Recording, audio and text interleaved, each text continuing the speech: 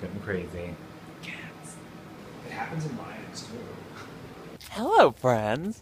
It was very much a Friday sort of work day, and now it is home time uh, from going to Friday Night Boys Club, which is this magical little thing that I do every now and then. And it was great seeing everybody, and we chatted about all sorts of crazy stuff. I don't know if you guys remember, but a few weeks ago I did this, maybe a few months ago, I don't even remember at this point, but I did this motivational interviewing course, and when somebody is having a very extreme emotional outburst or experience, you can kind of talk them down from it and also get to the root of where it's coming from and have them develop an understanding of what they need to do next. And I have been doing that a lot lately, and it's actually been wonderful. And I did that tonight. So it was a really empowering experience, and it was a fun experience. And I feel like I helped a little bit, and it was just magical all around. Now I am on my way home from the party. I don't really know what else to say. Pride is coming up. Pride is a week away. I'm going to make my Skittle vodka here soon.